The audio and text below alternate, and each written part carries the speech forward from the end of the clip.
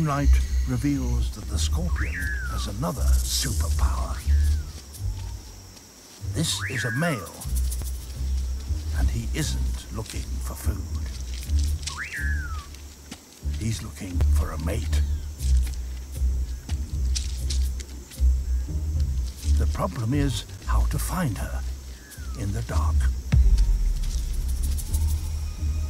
Amazingly, scorpions glow under ultraviolet light, which means that they may be able to see each other by the light of the moon. Pincer in Pincer is a wonderful night for a moon dance.